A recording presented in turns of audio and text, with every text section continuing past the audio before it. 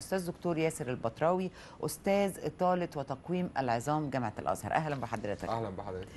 آه يمكن إحنا قبل ما نطلع هوا هو دلوقتي على طول كنت لسه بكلم حضرتك وبقول لك الإطالة أوكي هنتكلم عنها بس وقفت عند كلمة تقويم. يعني إيه تقويم العظام؟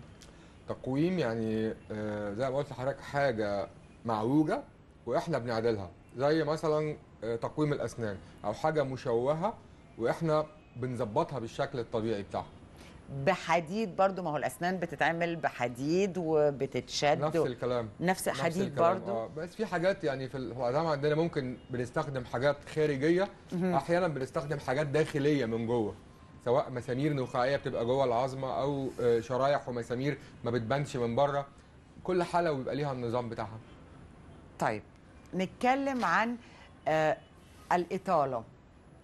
آه آه، إمتى بت, آه بت لما حد جه قصير مثلا أني قصر لغاية أني قصر تحس تقول لا ده لازم أعمل له آه آه إطالة آه أو ده ما ينفعش يتعمل له إطالة. هو طبعا مفيش حاجة اسمها لازم يعني مفيش لازم أعمل له أو دي حاجة بترجع لل self satisfaction بمعنى إيه؟ لا أنا مش قصدي إنه ما فيش حاجة لازم قصدي جي جي لو جيت لحضرتك مثلا قلت لك أنا عايز أعمل بتاع تقول لي لا ما ينفعش.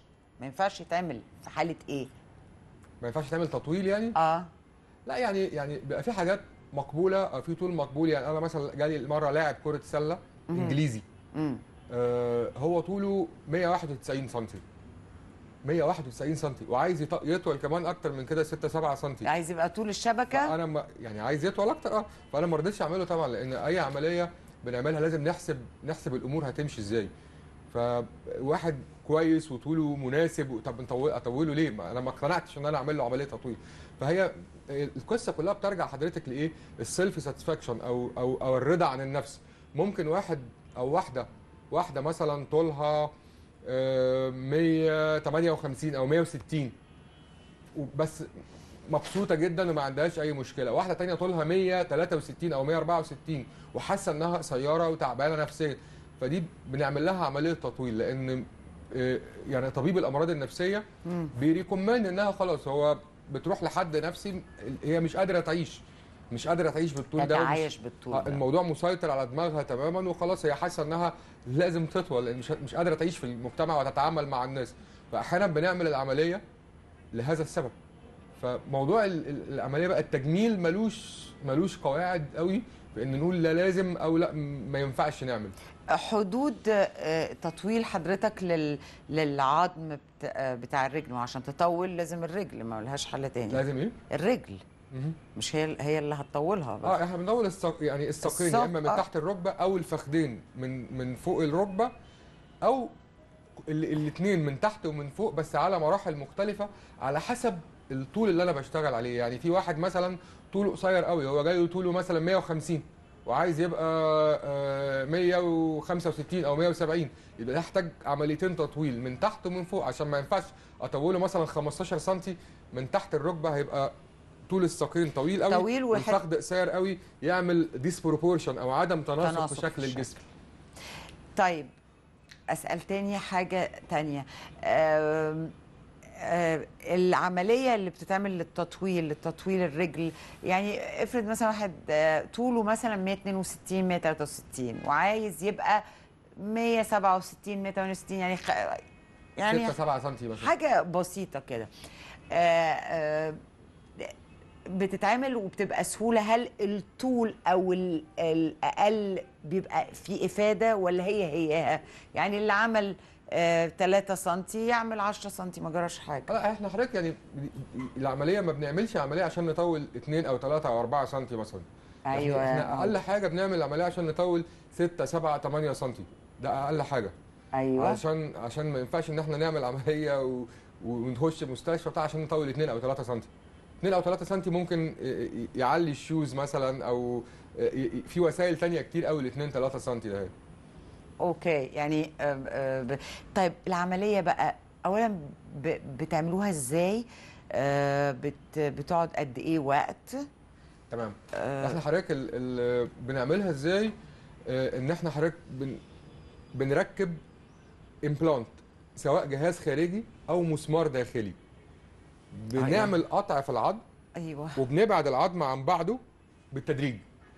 يعني بمقدار مليمتر في اليوم والمليمتر ده متوزع على ثلاث أو أربع مرات يعني ربع ملي كل ست ساعات مثلا. إيه ده؟ لا لا لا ما أنا مش فاهمة ولا حاجة. آه إحنا حضرتك لازم عشان نعمل العملية ون- ونطول. أيوه. لازم نعمل قطع في العظم. تمام. القطع اللي في العظم ده بنعمله من فتحة جراحية حوالي 3 4 مللي فتحة صغيرة جدا مش بنفتح فتحة كبيرة على العظم. يعني في وسائل عندنا حديثة بنقدر نعمل بيها القطع. العظمي ده يعني مش بت مش بتفتحوا بقى لا فتحة لا وت... هي هي فتحة 3 4 مللي هي اللي بنعمل منها العملية كلها. أيوه. وبعدين بعد كده بنعمل القطع في العظم ده وبعدين بنبتدي نبعد العظم عن بعضه تدريجيا بمقدار ربع ملي كل ست ساعات. ليه هو ال... ال... الزبون بيبعد لا طبعا إحنا حضرتك ال- المريض المريض حضرتك بيتحرك وبيمشي. هنشوف في الصور اللي هتيجي آه، دلوقتي. آه، المريض بيتحرك ويمشي المريض بيخرج من المستشفى بعد يومين أو ثلاثة من العملية ها وبيمارس حياته مش هنقول طبيعي لكن شبه طبيعي. بيتحرك وبيمشي في سواء عملنا العملية ركبنا جهاز خارجي أو مسمار داخلي. طب أنا عايزة أشوف لو سمحتوا بقى من فضلكم آه، اقطعوا على الصور. آه، مش جاهزين اجهزوا بقى عشان نتكلم عملي لو سمحتوا. إحنا ال ال في طريقة إن إحنا بنحط مثبت خارجي. يعني بيبقى حاجة حوالين الساق والمثبت ده بيتوصل بالعظام وهو اللي بيعمل لنا الإيه ال- ال- إن هو يبعد العظم عن بعضه بالتدريج. في طريقة تانية حديثة شوية إن إحنا بنحط مسمار داخلي داخل العظم من جوه مفيش أي حاجة باينة من بره خالص. والمسمار ده ممكن آه، في أنواع مختلفة ممكن بيعمل عن طريق الكترومagnetic ويفز يعني آه، بنحط بنمسك جهاز من بره بيطلع موجات كهرومغناطيسية بيخلي المسمار اللي جوه ده يطول. بنستخدم الجهاز ده هو ثلاث أو أربع مرات في اليوم كل مرة بنطول بيها الربع ملي لمدة دقيقة أو دقيقتين. تمام. آه، في مسمار تاني آه، المسمار نفسه motorized يعني في موتور في المسمار وبنزرع له sensor تحت ال- الجلد والمريض بيبقى معاه remote control آه، بيتحكم فيه في التطويل. ده الكلام ده لفترة معينة وبعد كده بتاخدوا منه الريموت لا control لغايه لغاية لما بنخلص التطويل. التطويل بيخلص بعد قد إيه؟ مثلا على سبيل المثال لو أنا بطول آه، مثلا 6 سم أو 7 سم بياخدوا لهم حوالي 3 شهور من تاريخ العملية. بعد الثلاث شهور دول بيكون مرحلة التطويل خلصت تماما. يعني بيطول في ثلاث آه أشهر؟ بتبتدي بتبتدي بقى بعدها مرحلة الكونسوليديشن أو مرحلة تماسك العظام اللي هي المكونة. بتاخد لها حوالي 3 أو 4 شهور. يعني القصة كلها بتاخد حوالي 6 7 شهور. أنا أنا يعني سمعت برضو في حلقة قبل كده في التلفزيون آه، أحد الأطباء كان بيتكلم بيقول إنها بتاخد سنة ونص أو سنتين. فالكلام ده كلام هنا- هنا- آه، هنا آه. في life بتاخد؟ حوالي 6 7 شهور الموضوع كله. والمريض بيتحرك وبيمشي وكل حاجة. ما آه، بعد ما بيخلص العملية بيطلع يجري يعني ما عندوش آه. مشاكل يعني وبيمشي عادي ما بيحسش بألم ما بيحسش بحاجة خالص لا ولا حضرتك بيبقى في ألم طبعا زي أي عملية طبعا في العظام بيبقى في ألم أول يومين ثلاثة فعشان كده بنقعد المريض في المستشفى أول يومين ثلاثة بعد العملية عشان نعمل control للألم اللي هو إيه موجود. بعد كده خلاص بيبقى يعني بيمارس حياته شبه طبيعي. طبعا بيبقى في جهاز. بيلعب كورة. يا فندم يقدر يلعب كورة لا يعني مش هيلعب كورة بالجهاز يعني أو لا. مش هيلعب كورة بال بقى خلص الجهاز و آه آه خلاص فكده العملية بتاعت مم- بيرجع حياته طبيعي تماما ممكن عندي- لو ولد يلعب كورة لو بنت عادي عادي جدا أنا أنا عندي مريض هو حاليا يعني professional football player في السويد يعني أيوة. بيلعب آه، لاعب كره محترف في آه. أحد النوادي وموجود آه يعني عملت له العملية من حوالي سبعة أو ثمان سنين يعني. طب لا ثانية واحدة لا مش مش عايز أعرف اسمه إيه آه، ليه, ليه لا ما نعرفش اسمه مش عايزين نعرف اسمه مش ضروري. آه يعني هو لا، اسمه إيه؟ حاجة- طبعا يعني حضرتك طبعا دي اسمه حاجة عندي وال data بتاعته طبعا. عندي كلها آه هو بيبقى يعني مرضى بيحبوا إن هو آه، لو أنا قلت اسمه يبقى المريض اللي عايز. يعمل عمليه هيخاف إن أنا أقول اسمه أو طبعا. أعرف لا لا لا ما ينفعش دي حاجة confidential آه طبعا. طيب عايزة عايزة بس آه لو ت... لو عايز ما ممكن ما بتوهوا الأسئلة مني. مش عايزة حد الصور اهي نزلت. آه. ده إحنا كنا بنتكلم على التقويم أو تقويم العظام. آه، آه، يعني ده مثلا طفل حضرتك اللي عنده تقوس في الساقين جامد جدا. أيوه. آه، وده صورته بعد ما عملنا التقويم. كان زمان التقويم بيتعمل إن إحنا بنكسر ال- الساق بتاعت الطفل ونجبسها. الكلام ده ممنوع دلوقتي خالص. يعني أنا آه. بقالي مثلا يمكن تسع سنين ما عملناش العملية دي خالص قبل كده إن إحنا نكسر العظم ونجبسه. خلاص دلوقتي تقويم بقى. آه دلوقتي ده ده عمل تقويم بدون كسر العظام في حوالي ست سبع شهور ال- ال- الساق اتظبطت من غير ما نكسر العظم ولا ده نجبسه. قبل وده بعد. ده قبل وده بعد من غير ما نكسر العظم ولا نجبسه خالص. تمام؟ تمام. ده التقويم. بيقعد ده- قد إيه ده- بقى وقت بقى؟ ده تقويم. دي خدت حوالي مثلا ست سبع شهور. يا حبيبي آه. ولازم يبقى وهو صغير مش وهو كبير. والله يعني يعني بتبقى في أي سن طبعا لازم قبل قبل ما مراكز النمو تتقفل لأن إحنا بنشتغل على مراكز النمو. تمام تمام. كنت عايزة أسأل حضرتك لعيب الكورة بتاع السويد جه يعملها هنا في مصر؟ اللي إيه يا فندم؟ آه، لعيب الكورة بتاع السويد جه يعملها هنا في آه مصر؟ آه آه كلهم بيجوا يعملوها في مصر يعني. ما شاء الله. يعني ممثلين من هوليوود عملوها في إيه ده. إيه- إيه- إيه- إزاي يعني؟ آه، ليه اختاروا مصر يعني تحديدا؟ هو حضرتك لأسباب آه لأسباب كتيرة يعني. هو أو المريض بيدور على بالذات المريض اللي هو الأمريكي أو ال- الأوروبي آه آه بيبقى على على درجة عالية من الثقافة. آه وهو بيدور عايز عايز حاجتين عايز يعمل العملية بشكل professional آه وعايز تكلفة تكون معقولة لأن العملية دي تعتبر عملية تجميلية مش آه، متغطية بال بال بال health insurance أو بالتأمين الصحي. آه الحاجات التجميلية. فهي بتتكلف عملية زي دي بتتكلف في أمريكا من 85000 ل 140000 دولار. طبعا تكلفتها هنا ولا ربع ال- التكلفة ديت. فهو عايز يعملها بتكلفة قليلة وبشكل بروفيشنال فأنا يعني اتعلمتها في أمريكا بعملها بنفس الإمكانيات ونفس الأدوات ونفس الأجهزة اللي هي موجودة في أمريكا وبنعملها هنا في مصر بتكون التكلفة بتاعتها أقل بكتير جدا من التكلفة في أمريكا. فكلهم بيجوا يعملوها هنا. الممثل الأمريكي اللي هو المشهور اللي هو آه، من هوليوود اللي هو عملها عملها علشان لو عملها في أمريكا هتبقى فضيحة بالنسبة له. فهو جه يعملها في بلد تانية عشان ما حدش يعرفه. آه طيب حلو. طب آه آه هنعلق على الصورة دي بس قبل ما أعلق على الصورة دي في ديدلاين ل... لأن انه ما ما ينفعش بقى نعمل عملية للشخص ده في سن معين؟ ولا دي ممكن؟ والله هو الممثل اللي إحنا عملناها له ده كان عنده 56 سنة. لا خلاص يبقى لكن آه، مفيش يعني ما. بنحبش نعملها بعد سن ال 60 ما أساس. بنحبش نعملها لشخص عنده آه، سكر مثلا أو عنده أمراض أو بياخد علاج كورتيزون أو بياخد آه، أي أدوية. يعني يكون شخص healthy ما ما يكونش مدخن. التدخين ده كارثة. ممنوع نعملها لحد مدخن. تمام. الصورة بقى آه، ده برضو التقويم. آه، للتشوهات ال- الأقدام أيوه. زي ال club foot أو اللي هي القدم ال- القدم الحنفاء. آه.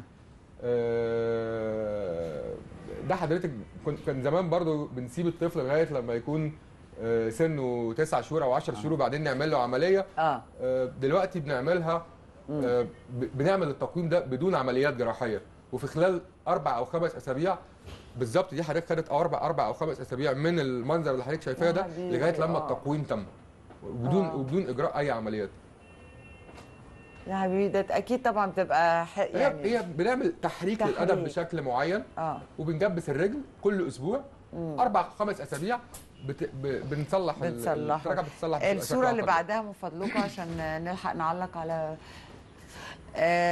دكتور لكن الطفل في السن ده بتقدر تعمل عليه كنترول إنك تبقى مجبسه وكده ما بي- ما بيبقاش آه، تعبك أو تعب أهله بالحكاية آه، ال- هو طبعا بنفضل حضرتك نستخدم في في الجبس ماتيريال تكون خفيفة في يعني في جبس حديث بيكون خفيف جدا وطري بيدخل تهوية للرجل غير الجبس اللي هو التقليدي يعني. آه، دي آه، آه، برضو تقويم يعني برضو تشوه عكس اللي إحنا شفناه. إحنا شفنا التشوه الانسي ده بيسموه التشوه الوحشي اللي هو للخارج آه. آه، برضو دي مش مش مش في طفلة دي في واحدة عندها 14 أو 15 سنة. آه. ده برضو قبل وده بعد.